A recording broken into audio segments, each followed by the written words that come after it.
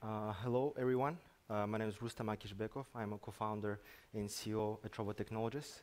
Uh, we're a Vienna-based robotics company. Uh, we're building uh, electronic robotics products for children.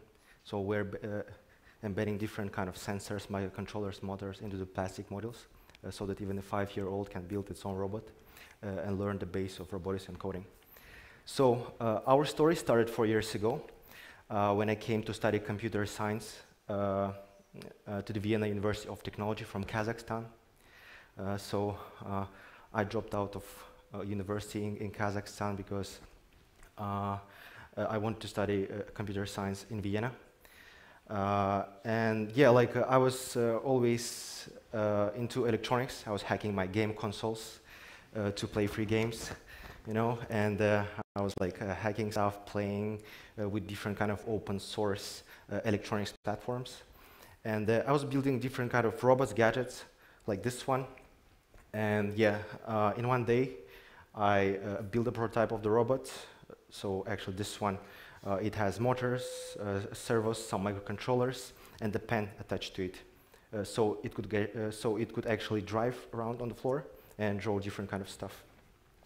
And yeah, it was fun. It was my hobby. And then uh, uh, one day I woke up in the morning, opened my computer, and saw the advertisement of the startup competition. And the main prize was like $10,000. And I decided to participate. Uh, and, the, and I had to uh, shoot a video, a very nice video, like, uh, like one minute uh, pitch on why my idea is the coolest one. And I was looking for a guy who will help me with, the, with video. And luckily, um, uh, my neighbor uh, in my dormitory, uh, Yuri, was actually the coolest video maker, and, and I asked him to help me. And we shoot a video, actually, and won $10,000. Uh, basically. Uh, yeah, that was really, really amazing. And so we won uh, this money from like a very big robotics venture fund that investing in robotics and AI companies um, yeah, like a, a, lot of media and press start to write about us. Um, yeah, and people actually start to reach out to us and ask about where they can actually buy this product. And we're like, wow, there's a, a, a demand on the market. People actually want to buy this thing. We can make business out of it. And yeah, and we decided to focus on this. We dropped out of our universities uh, uh and started to work uh, on this product full time. And we're like two guys um, and we didn't have any kind of business experience. And we uh, uh found uh, our third co-founder who had experience in business. Her, uh, her name is Anna. Um, yeah, and we are like three co-founders with, with a great product and people that want to buy it. And yeah, basically, we didn't have any, any kind of experience in startups, and we, so when we started to apply to different kind of uh, accelerators, incubators, we applied to Y Combinator, uh, Techstars, uh, and then uh, managing director of the Techstars in Boston. It's like also one of the coolest incubators in the world. And he said, okay, guys, you're based in Vienna, right? like, yes. Uh, yeah, I'm coming, so I'm coming to Europe next week. Uh, like, uh, it's, uh, mm, I'm, so I'm coming to Croatia. It's very close to Vienna, right? We're like, yes. So, and uh, so actually he was coming to Split. It's like south of Croatia. It's like 15 hours away from Vienna. and we bought it, like uh, a tickets to the bus and went to uh, Split to meet uh, with this guy. His name is Semyon Dukach. It was like uh, uh, beginning of 2014. Uh, yeah, and he said, okay, guys, you're cool, you have a cool product, you have a cool team, but we won't be able to help you with anything in, Boston. You need to learn how to manufacture your product. You need to go to China. We're like, okay. And he said, okay, I'll make an intro to one uh, Chinese venture fund. They're investing in early stage hardware companies, and, and you should talk to them. And yeah, basically, he made an intro. Uh, yeah, and we started to talk to, to this Chinese venture fund. And uh, actually, this guy, uh, uh have you watched the movie uh, called 21 about how uh, students from Las Vegas went to to casinos and like basically hacked the system and won like million dollars? have you watched this movie? Yes. Yeah, yeah. And basically, this movie was actually a short based on the life story of this guy. Unbelievable. It's like real story. And now he's investing uh, the money he got into startups. That's even more funny. And basically, yeah, uh, so we received an offer from this uh, Chinese venture fund uh, that's uh, uh, helping young hardware companies with manufacturing in China. And we relocated to China in July 2014 from Vienna. So we spent half a year in China working with the factories, basically uh, so uh, if you're an engineer and you're prototyping your product somewhere in Vienna, uh, it doesn't mean that you'll be able to produce it on mass scale, right?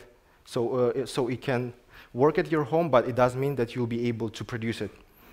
Uh, so, and you need to go to China to, to, to talk to a factory, basically certify it, and work on, on a lot of stuff. And we spent a half a year in China. It was a very fun experience. yeah, and basically what we created, we decided to embed sensors, uh, microcontrollers, into the uh, Lego-like uh, blocks uh, to make electronics more intuitive and accessible for children. And so this is how our early, like early prototype looked like, and then we actually came to this. And this is what we have right now. It's basically educational modular robotics platform. Uh, it has different kind of sensors, microcontrollers, uh, and you can build your own robot without even knowing uh, anything about electronics, and you can actually program it with a very intuitive programming language. Um, so we came back to Vienna at the end of 2014. We became top eight startup uh, on the Pioneers Festival. We became Robotics Project of the Year in Austria. And then in 2015, we became Startup of the Year in Vienna and in Austria. And we set up a goal for ourselves uh, uh, to actually go to market uh, on 2015. And we were like preparing a lot to, to, to our crowdfunding campaign. And uh, like one month before, uh, we got accepted to uh, TechCrunch Disrupt Startup Battlefield program. It's like sort of Oscar for startups. Um, and so, and we could actually launch our crowdfunding campaign there. It was a big success. Uh, we raised uh, $250,000 from 1,200 people from 58 countries, basically almost whole world uh, backed our project. And uh, uh, almost all media outlets wrote about us, uh, like, like TechCrunch, Wired, Make Magazine, and many, many others. So since then, so we received the offers, orders from schools in Vienna, Austria, and other countries and uh, we're getting to retail stores by the end of this year. Uh, so, and uh, so it was a story about how uh, two guys uh, from the dormitory uh, created the prototype and actually brought the product to mass production. And everything looks relatively easy and everything happened really quickly, right? But so actually this journey was, was tough one if you decide to make something big, uh, uh, you should know that uh, it's going to be a long journey, and the perseverance uh, is what matters most. if, you, if you decide to make something big, um, so you should know that you don't uh, uh, pace yourself and that and you don't quit too early, and then you'll be able to build amazing things. So I hope that you'll not only inspire today, but also got some practical tips, and I expect to see a lot of great, uh, a lot of great things from you. Thank you.